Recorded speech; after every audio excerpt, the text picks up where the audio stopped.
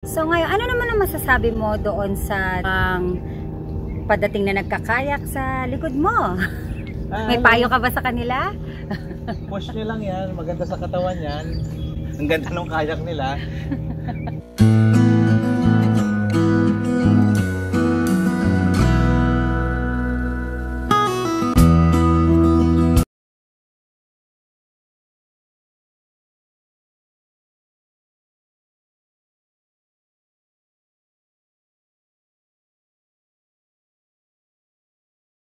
JDL, happy birthday! Hello and thank you sa pagbate. Kamusta naman ang birthday ngayong panahon ng COVID? Well, syempre dapat happy kasi nga happy birthday, no? Kaya nga gumagawa tayo ng paraan kahit na hindi tayo makaalis sa malayong lugar, kahit pa paano nandito tayo. Tingnan nyo naman ang aking scenery. Na talagang relax.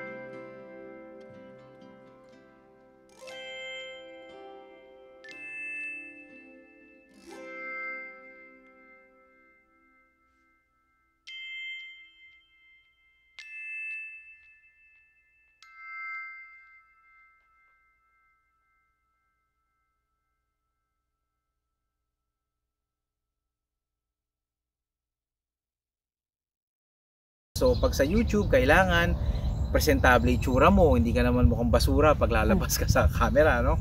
Tsaka yung itsura mo dapat may originality ka. So yun yun ang ah, unang-unang na natutunan ko. So pangalawa, yung mga ah, rules and regulation pag nagpo-post ka dapat walang offensive, dapat ah, ano ka pa rin ah, hangga't maaari ah, ingatan natin yung mga pinopost natin. Yon, yun ang mga natutunan ko. Mhm. Ah, so ano naman ang ine-expect ng iyong mga letter senders at listeners sa season 2 ng Well, Kuya ng Dear Kuya JDL? So sa season 2, una sana mag magpadala kayo ng mga story nyo, huwag kayong matakot at ah, talagang ikikip natin in private. Pangalawa, lalo ko pang ah, pagbubutihin yung pagbabasa at pati yung pagbibigay ko yun ng advice. Yun lang. Okay, thank you very much Kuya JDL. More power to you and again, happy birthday! So, thank you sa oras nyo at na kahit na papaano na pagtsatsagaan nyo akong pakinggan at panoorin. Thank you.